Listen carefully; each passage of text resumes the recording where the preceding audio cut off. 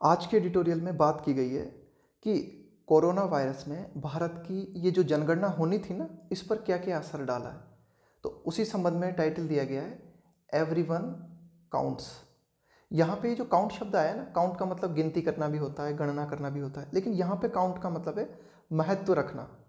कि जनगणना के संबंध में अगर हम बात करें तो हर व्यक्ति जो है, वह महत्व रखता है। एवरी वन काउंट्स आगे देखते हैं।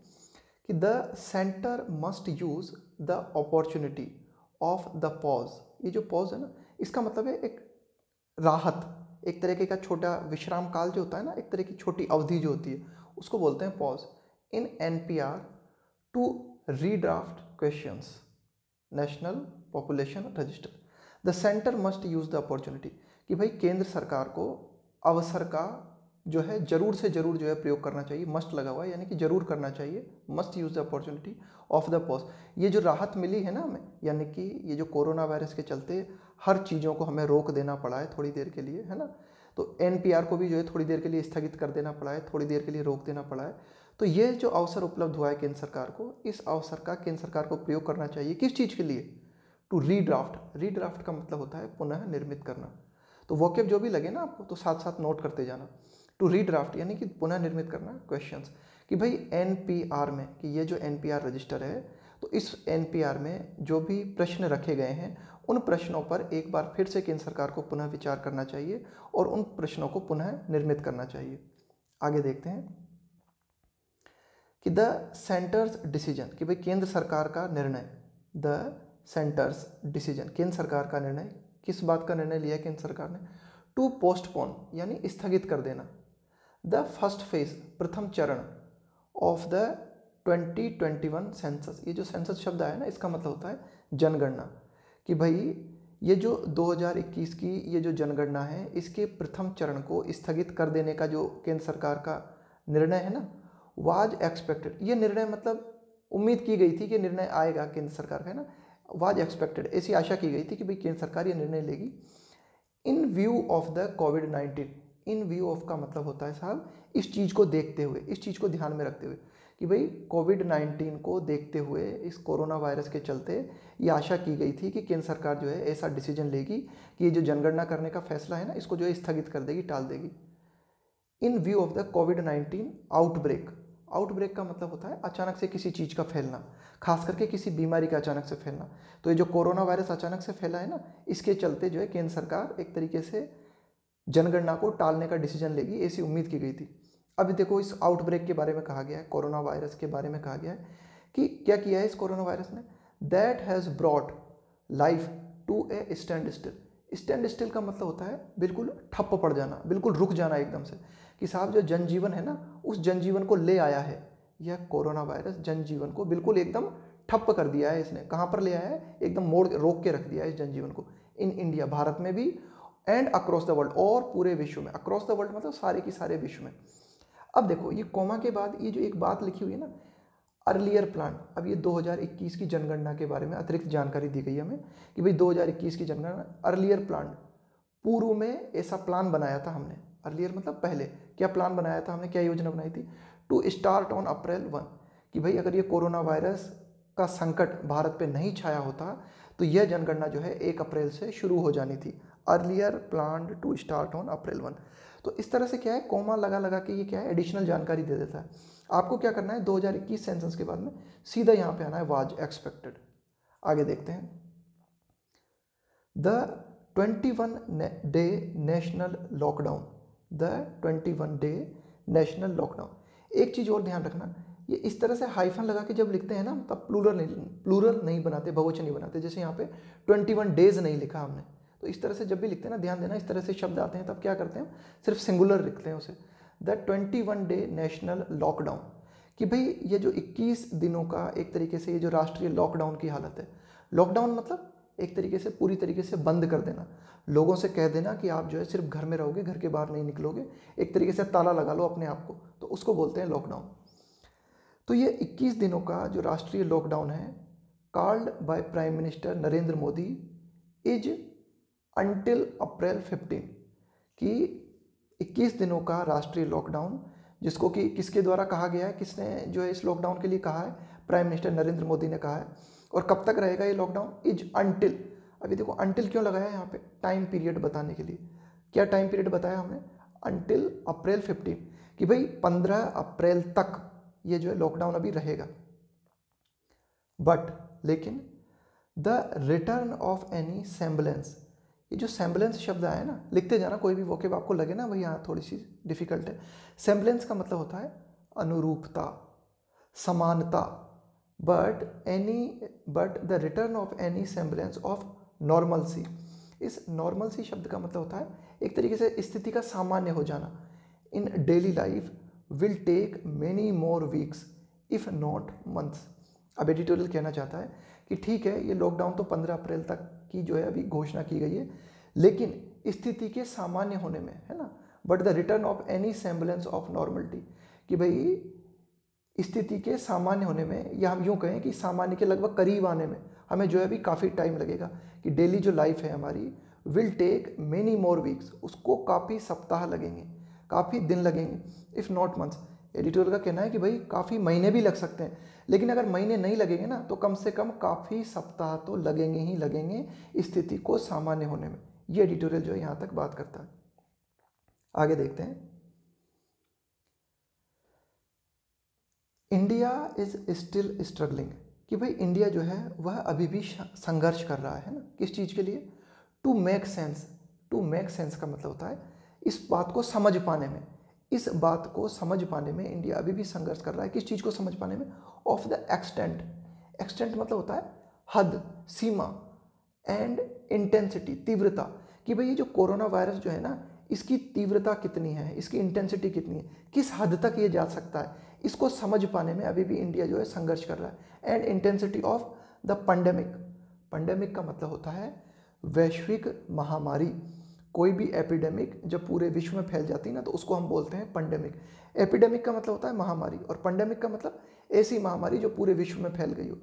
तो यही एडिटोरियल कह रहा है कि साहब इंडिया अभी भी समझ नहीं पा रहा, किस चीज़ को नहीं समझ पा रहा? एक्सटेंट को और इंटेंसिटी को, कि भाई ये जो पंडेमिक है, ये जो कोरोना वायरस है, इसका जो प्रभाव है ना, इसकी जो तीव्रता है, और किस हद तक यह प्रभावित कर सकता है पूरे भारत को तो उसको अभी भी भारत जो है समझ नहीं पा रहा. एंड द अकम्पनिंग अकम्पनिंग मतलब जो जुड़ा हुआ है साहब एंड इन इविटेबल इन इविटेबल का मतलब होता है अपरिहार्य, जिससे बचा न जा सके, उसको बोलते हैं इन इविटेबल इकोनॉमिक कालामिटी और ये जो कालामिटी शब्द लिखा है, इसका मतलब होता है आपदा। कि साहब, भारत समझ नहीं पा रहा, किस चीज़ को समझ नहीं पा रहा, कि यह जो कोरोना वायरस है, यह जो महामारी है, इसकी तीव्रता कितनी है? और साथ ही साथ कोरोना वायरस के साथ में जो जुड़ी हुई चीज़ें हैं ना अकम्पनी क्या चीज़ें जुड़ी हुई हैं इसके साथ? एंड इनिविटेबल और ऐसी चीज़ें जो कोरोना वायरस के साथ जुड़ी हुई हैं, ऐसी बातें जिनसे कि बचा नहीं जा सकता। क्या बातें हैं जिनसे बचा नहीं जा सकता? इकोनॉमिक कालामिटी आर्थिक आपदा। कालामिटी का मैंने आपको मतलब बताया। आपदा, यानी कि एक तरीके से आर्थिक परेशानियाँ जो कि इस पंडेमिक के साथ जुड़ी हुई है, जिससे कि हम बच नहीं सकते। इन चीज़ों को समझ पाने में अभी भी इंडिया जो है स्ट्रगल कर रहा है। आगे देखते हैं। What is for certain is that what is for certain कि भाई एक चीज़ वह क्या चीज़ है जो कि निश्चित है, वो ये वाट इज़ फॉर सर्टेन कि भाई जो निश्चित है, वो बात है, वो ये इज़ दैट ऑल रिसोर्सेस कि भाई सारे की सारे संसाधन पब्लिक एंड प्राइवेट पब्लिक संसाधन हो हमारे, है ना, सार्वजनिक संसाधन हो या फिर व्यक्तिगत, निजी संसाधन हो will need to be mobilize mobilize इस मोबिलाइज शब्द का मतलब होता है, जैसे युद्ध होने वाला हो। तो युद्ध होने के लिए अब जब आप तैयारी करते हो ना एक तरीके से तो उसको बोलते हैं मोबिलाइज करना। मोबिलाइज करना मतलब संगठित करना, है ना? तैयारी करना। तो हमारे पास जो भी संसाधन उपलब्ध हैं, सार्वजनिक संसाधन हो या फिर व्यक्तिगत संसाधन हो इन सबको हमें क्या करना होगा? एक तरीके से हमें तैयार रहना होगा। इन सारे संसाधनों को हमें संगठित करना होगा, एकत्रित करना होगा। First for combating the malady अभी जो मेलेडी शब्द है ना M A L A D Y इसका मतलब होता है गंभीर समस्या या फिर कोई गंभीर रोग। कॉम्बैट का मतलब होता है लड़ाई लड़ना किसी चीज़ के खिलाफ, है ना? उसको बोलते हैं कॉम्बैट फाइट तो हमें ये सारे के सारे जो संसाधन हैं हमारे, एक तरीके से सार्वजनिक संसाधन हैं या फिर निजी संसाधन हैं, इन संसाधनों को हमें क्या करना होगा? एक तरीके से तैयारी करनी होगी, हमें इन संसाधनों को एकत्रित करना होगा। क्यों? पहले तो ये जो गंभीर समस्या हमारे सामने उपस्थित हुई है कोरोना वायरस के रूप में, इसके खिलाफ लड़ाई लड़ने के लिए। और एंड देन और बाद में फॉर टेंडिंग ये जो शब्द है ना टेंडिंग इस टेंडिंग का मतलब होता है की और अभिमुख होना, सहायक होना। And for tending society and the economy back to its health and dynamism dynamism का मतलब होता है गतिशीलता, है ना? चीज़ों का जो है मूव करते रहना, चलते रहना चीज़ों का, है ना? तो एडिटोरियल कह रहा है कि साहब, सारे के सारे संसाधन जो हैं, इन संसाधनों को हमें संगठित करना होगा। क्यों? क्योंकि हमें पहले तो साहब लड़ाई लड़नी है कोरोना वायरस के खिलाफ, और जब हम इस कोरोना वायरस के खिलाफ लड़ाई लड़ लेंगे first for combating the malady and then और उसके बाद में फॉर टेंडिंग सोसाइटी उसके बाद में समाज को ले जाने के लिए हमारी अर्थव्यवस्था और समाज को बैक वापस लौटाने में बैक टू इट्स हेल्थ कि साहब इस कोरोना वायरस ने पूरे समाज की और पूरी अर्थव्यवस्था की हालत जो है ख़राब कर दी है। तो इस समाज की हालत को और अर्थव्यवस्था की हालत को वापस पटरी पर लाने के लिए वापस उसे मूवमेंट प्रदान करने के लिए हमें सारे संसाधनों को जो है मोबिलाइज करना होगा, एकत्रित करना होगा। हमें जो है तैयारी दिखानी होगी। ये एडिटोरियल जो है यहाँ तक बात करता है।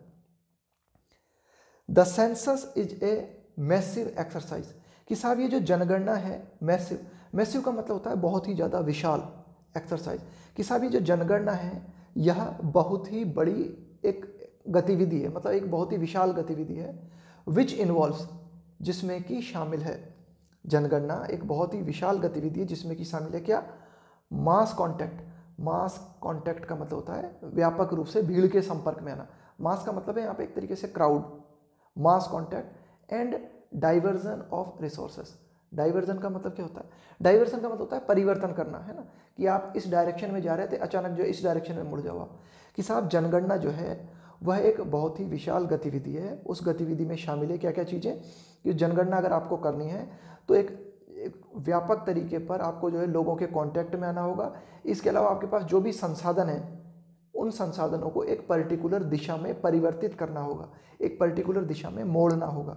आगे देखते हैं कि according to the original schedule according to according to का मतलब होता है के अनुसार। According to the original schedule कि भाई ये जो ओरिजिनल शेड्यूल हमने डिसाइड किया था ना जनगणना के लिए कि भाई एक अप्रैल से शुरू हो जानी थी, है ना? तो उस शेड्यूल के अनुसार अगर हम बात करें द फ़र्स्ट फ़ेज़ तो पहला चरण जो है फ्रॉम अप्रैल टू सेप्टेम्बर कि भाई पहला चरण जो है, वह शुरू होना था अब एक अप्रैल से सितंबर तक, जो कि अब टाल दिया गया जिसको कि पोस्टपोन कर दिया गया तो अगर मानो ये चरण शुरू हो गया होता तो इस चरण में क्या हुआ होता?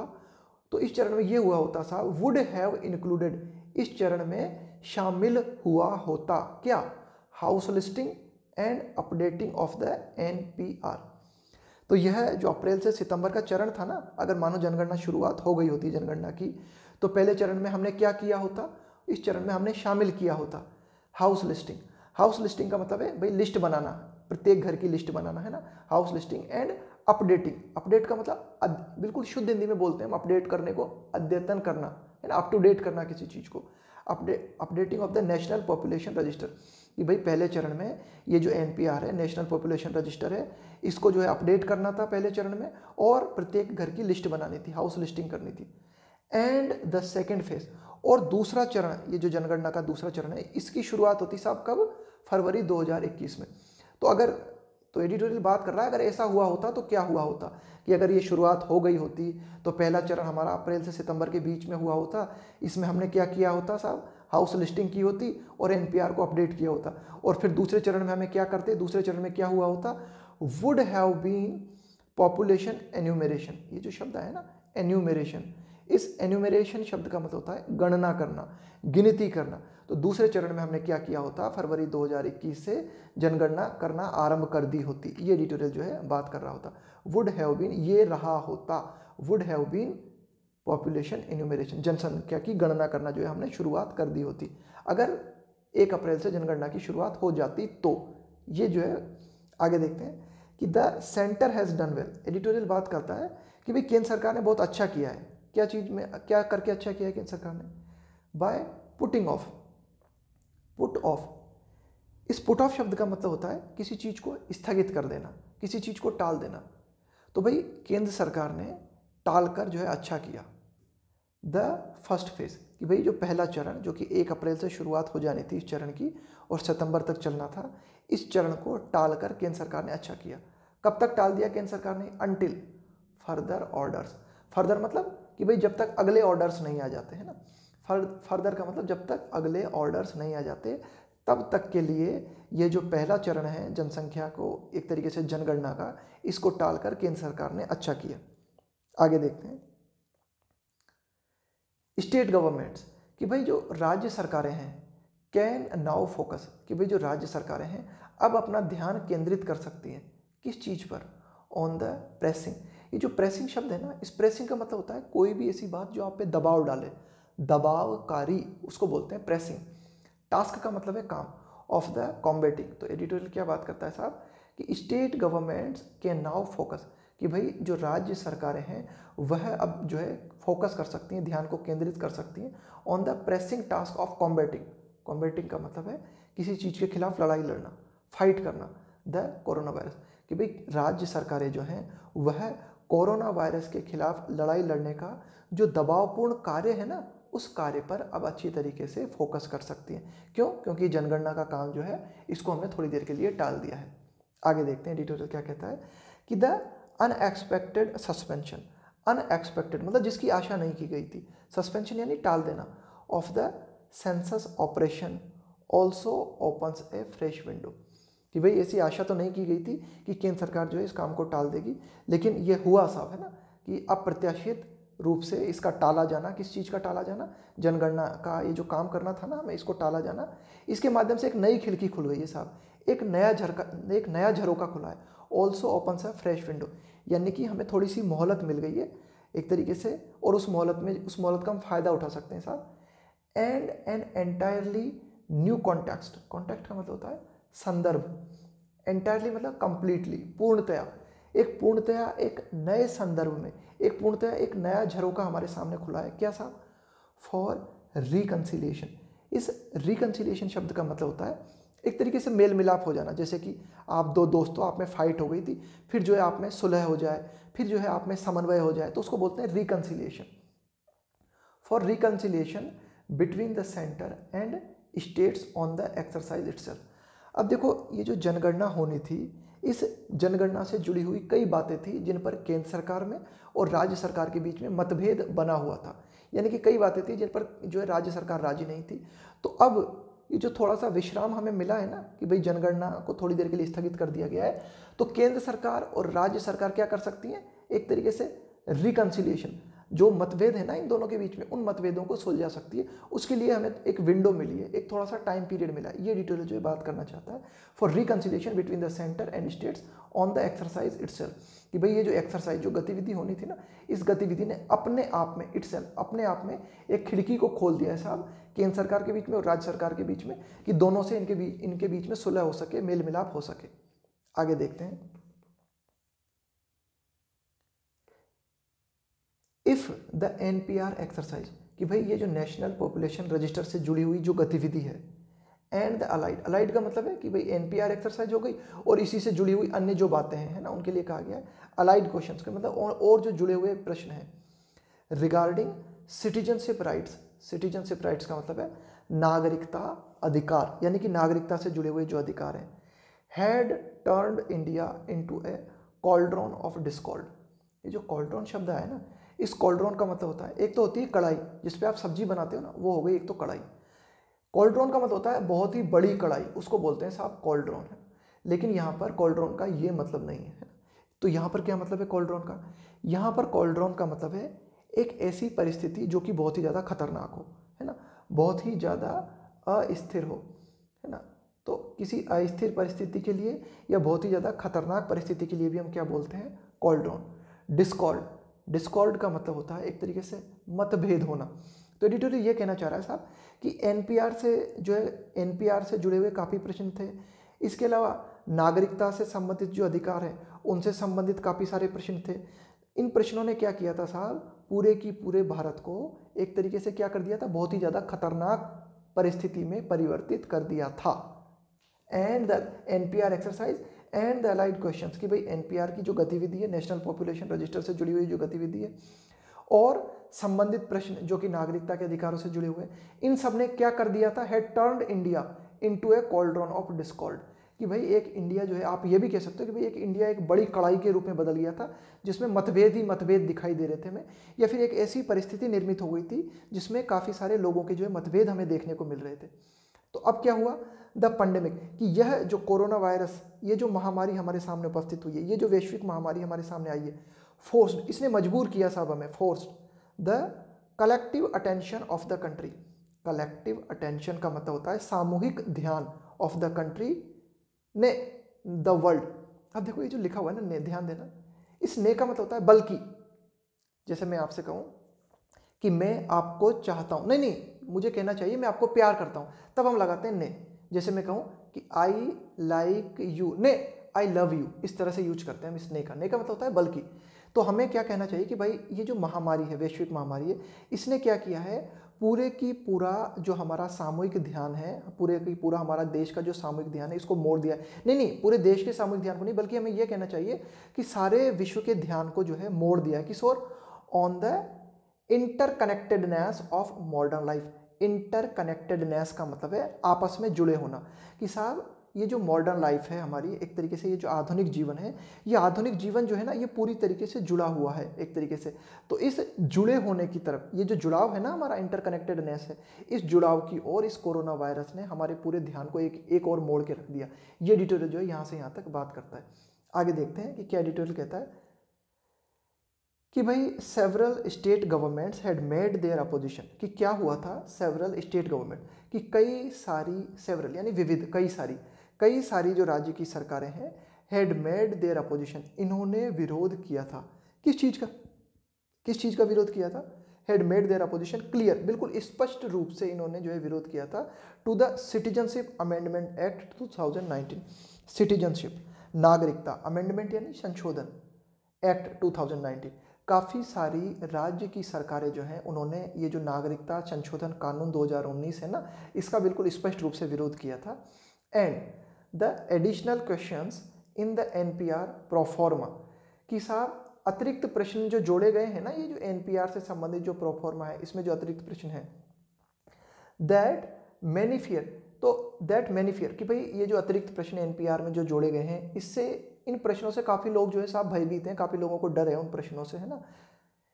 एज ए प्रिल्यूड प्रिल्यूड का मतलब होता है साहब प्रस्तावना, है ना? Is a prelude to something more cynical and divisive that is based on some quaint ideas of nation अब देखो क्या कहना चाहता है सर कि यह जो एनपीआर में ये जो काफ़ी सारे अलूल जलूल प्रश्न जोड़े गए थे ना, जो जिन लोग जिन प्रश्नों से काफ़ी लोग भयभीत थे तो उन प्रश्नों को हम कह सकते हैं, वो एक प्रस्तावना की तरह थे साहब वो प्रश्न। टू समथिंग मोर सिनिकल देखो, इस सिनिकल शब्द का मतलब होता है सिनिक इसका मतलब होता है सनक, सन की, है ना? आपके दिमाग में कुछ सनक जाए आपका, है ना? सिनिकल एंड डिवाइसिव का मतलब होता है साहब, बांटने वाला, विभाजनकारी। दैट इज़ बेस्ड ऑन मतलब आधारित होना। Quaint Q U A I N T इस क्वेंट का मतलब होता है बिल्कुल अजीब, विचित्र आइडियाज़ ऑफ़ नेशनहुड नेशनहुड का मतलब है राष्ट्रीयता। तो एनपीआर में जो कुछ प्रश्न जोड़े गए थे, वे प्रश्न जो है एक बहुत ही अजीब राष्ट्रीयता से एक बहुत ही ज़्यादा अजीब राष्ट्रीयता पर आधारित थे और ये प्रश्न जो थे एक तरीके से बांटने वाले थे, है ना? सिनिकल थे मतलब कोई किसी की जो है खोपड़ी सनक जाए है ना? और वो कुछ भी कर दे, है ना? तो इस तरीके से ये जो प्रश्न जो थे ना, एक तरीके से प्रस्तावना के रूप में थे। तो ये एडिटोरियल पूरी की पूरी लाइन में कहना चाह रहा है साहब कि इस तरह के जो प्रश्न हमने बनाए थे, ये एक ऐसी प्रस्तावना थी जो कि साहब, जो कि आधारित थी। किस चीज़ पर आधारित थी? किसी की सनक पर आधारित थी, है ना? किसी के विभाजनकारी रवैये पर आधारित थी। इस प्रश्न में जो है काफ़ी सारे विचित्रता, विचित्र से, विचित्र प्रश्न थे साहब, है ना? और विचित्र प्रश्न जो है राष्ट्रीयता से जुड़े हुए थे। ये एडिटोरियल जो है बात करना चाहता है। आगे देखते हैं कि द सेंटर क्लैरिफाइड कि भाई केंद्र सरकार ने ये बिल्कुल स्पष्ट किया that people could choose to not respond to these questions कि भाई केंद्र सरकार ने क्या कहा था साहब? केंद्र सरकार ने स्पष्ट किया था। क्या स्पष्ट किया? दैट पीपल कुड चूज़ कि भाई लोग बाग जो है, अपना एक तरीके से ये चुन सकते थे लोग बाग है ना? लोगों को ये अधिकार था साहब क्या चुन सकते थे लोग बाग could choose to not respond to these question कि भाई ये जो प्रश्न है ना, काफ़ी सारे ये जो जुड़े हुए हैं, विचित्र से प्रश्न है। कि भाई ये लोगों के ऊपर निर्भर है, कि वे लोग बाग जो है जवाब देना चाहते हैं या नहीं जवाब देना चाहते हैं कि इनका जवाब देना चाहते हैं। तो ये लोगों की मर्ज़ी है, ऐसा केंद्र सरकार ने कहा था कि लोग बाग जो है अपने हिसाब से चुन सकते हैं साहब बट नेवर बॉदर्ड बॉदर्ड का मतलब होता है चिंतित होना। लेकिन केंद्र सरकार ने इस बात की कतई चिंता नहीं की टू एड्रेस का मतलब होता है समाधान करना, द अंडरलाइन कंसर्न। अंडरलाइन का मतलब होता है निहित होना, छिपा होना। कंसर्न मतलब चिंता। कि भाई, केंद्र सरकार ने ये तो कहा कि भाई लोग बाग, ये जो सारे प्रश्न हैं एनपीआर से जुड़े हुए, इनमें से आप जिन प्रश्नों का जवाब देना चाहो दे सकते हो, नहीं देना चाहते, नहीं दे सकते। लेकिन केंद्र सरकार ने इस बात की कतई चिंता नहीं की किस चीज़ की? समाधान करने की। किन चीज़ों को समाधान करने की? The underline concern. कंसर्न का मतलब है लगाव, चिंता, सरोकार। कि भाई काफ़ी सारी चिंताएँ जो कि इन प्रश्नों से जुड़ी हुई थी ना, इन चिंताओं को समाधान करने के बारे में केंद्र सरकार ने कोई चिंता नहीं की। आगे देखते हैं कि the pandemic is a reminder कि साहब, ये जो महामारी है एक तरीके से इज़ ए रिमाइंडर यह याद दिलाती है हमें किस चीज़ की? That the future of humanity is collective कि यह वैश्विक महामारी हमें इस चीज़ की याद दिलाती है कि मानवता का जो भविष्य है, वह जुड़ा हुआ है। इज़ कलेक्टिव का मतलब होता है सामूहिक। कि साहब मानवता का जो भविष्य है, वह समूह में है, यानी कि पूरा की पूरा सामूहिक है, मानवता का भविष्य जो है जुड़ा हुआ है and can not be fragmented fragment इस फ्रेगमेंट का मतलब होता है खंड खंड होना, विभाजित होना। यानी कि मानवता का जो भविष्य है, उसे विभाजित नहीं किया जा सकता। मानवता का जो भविष्य जो है, वह जुड़ा हुआ है। The centre can turn this crisis कि भाई, ये जो कोरोना वायरस का, ये जो संकट हमारे सामने पैदा हुआ है क्राइसिस यानी संकट तो इस संकट को केंद्र सरकार तब्दील कर सकती है। इस संकट को केंद्र सरकार बदल सकती है। किस चीज़ में? इन टू एन अपॉर्चुनिटी एक अवसर में। कौन से अवसर में? टू रेस्टोर इस रेस्टोर का मतलब होता है पुनः स्थापित करना, है ना? पुनः किसी चीज़ को बहाल करना। To restore mutually respectful terms for relations with states to restore mutually mutually यानी आपस में। रेस्पेक्टफुल टर्म्स कि भाई आप टर्म्स का मतलब होता है सब कंडीशंस शर्त for relations with states and harmony among communities कि साहब, यह जो आपदा हमारे ऊपर आई है ना तो ये जो संकट आया, इस संकट को केंद्र सरकार एक तरीके से, क्या संकट आया? कोरोना वायरस फैला हुआ है, इसके चलते हमें क्या करना पड़ रहा है? जनगणना को थोड़ी देर के लिए स्थगित कर देना पड़ा है। तो यह जो अवसर उपलब्ध हुआ है केंद्र सरकार को तो इस अवसर का फ़ायदा उठाते हुए केंद्र सरकार जो है पुनः तब्दील कर सकती है किस चीज़ को, कि आपस में एक दूसरे में सम्मान की भावना। कि भाई राज्यों के साथ, है ना? राज्यों के साथ क्या कर सकती है केंद्र सरकार अपने संबंधों को जो है दोबारा से सुधार सकती है ना? दोबारा से सम्मानपूर्ण संबंध जो है स्थापित कर सकती है। एंड हारमोनी, इस हारमोनी का मतलब होता है सामंजस्यता, है ना? अमंग कम्युनिटीज़ कि विविध जो समुदाय हैं जिन समुदाय, जिन समुदायों में एनपीआर को लेकर या नागरिकता से जुड़े हुए जो प्रश्न हैं, उनको लेकर जो डर बैठा हुआ था ना, उनको भी जो है एक तरीके से सामंजस्य स्थापित किया जा सकता है उन समुदायों के बीच में और राज्यों के बीच में भी जो है सामंजस्य स्थापित किया जा सकता है, एक तरीके से सम्मान स्थापित किया जा सकता है आपस में। आगे देखते हैं। बोथ अब कि सारे की सारे ये जो समाज हैं, इन समाज के बीच में सामंजस्यता का अभाव हमें देखने को मिल रहा है और केंद्र सरकार और जो राज्य सरकार है, उनके बीच में भी संबंध जो है हमें तनावपूर्ण हमें देखने को मिलते हैं। तो ये दोनों की दोनों जो बातें हैं ना, कि भाई हारमोनी केंद्र सरकार के बीच में और राज्य सरकार के बीच में और विविध समुदायों के बीच में, इनमें बोथ करंटली फ्रेड फ्रेड का मतलब होता है तनावपूर्ण।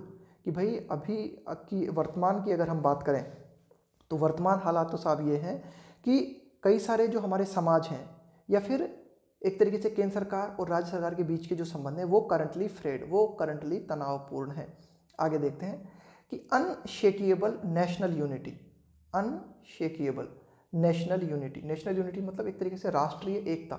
अनशेकिएबल का मतलब होता है जिसे हिलाया न जा सके, जो बहुत ही ज़्यादा मज़बूत हो, जो बहुत ही ज़्यादा दृढ़ हो।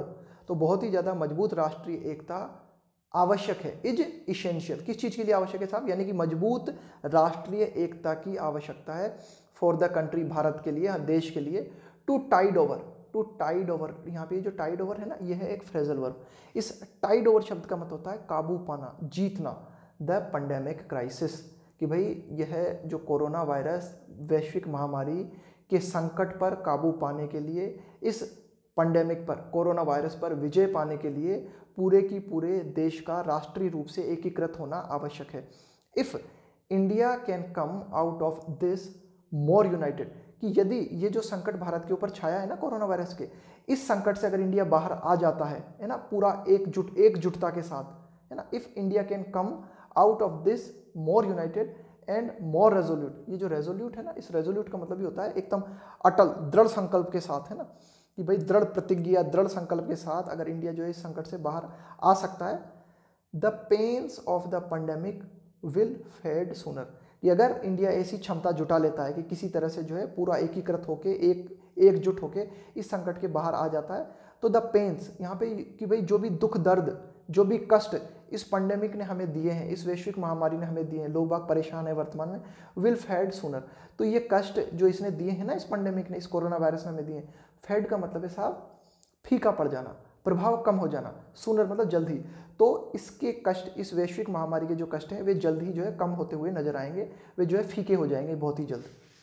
The corona virus is forcing कि कोरोना वायरस जो है इस बात के लिए हमें मजबूर कर रहा है। किस बात के लिए हमें मजबूर कर रहा है? इस बात के लिए दबाव डाल रहा है coronavirus is forcing the reexamination in many nations about national power कि ये साहब कोरोना वायरस जो है इस बात के लिए मजबूर कर रहा है, इस बात के लिए दबाव डाल रहा है कि पुनः जाँच की जाए, पुनः विश्लेषण किया जाए किस चीज़ का?